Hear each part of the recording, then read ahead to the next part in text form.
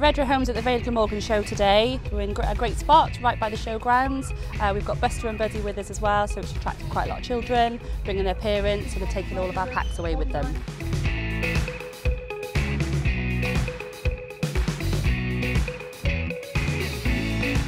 Redrow sounds great. There's lots of stuff for families, fun stuff for kids. Oh, it's, it's fabulous, honestly, it really is. And I'm a big supporter of Redrow. They supported me for years. The stand is very impressive. So it's got like loads of games for the kids, like Connect 4, Jenga, and then it's got the two bears as well, which is fab for photos.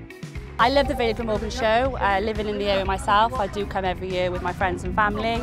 Uh, it's a great event, gets everybody together, local communities, businesses and families.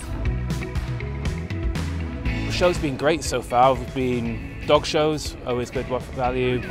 Been to see lots of horses, sheep shearing. First time I've been to this show, loads of different things to see, like the livestock, the whole, whole part of the show is, is good. To be honest, it's been ex exceptional this year. We come every year, and, and this year they've surpassed themselves. There's so much uh, to go on here.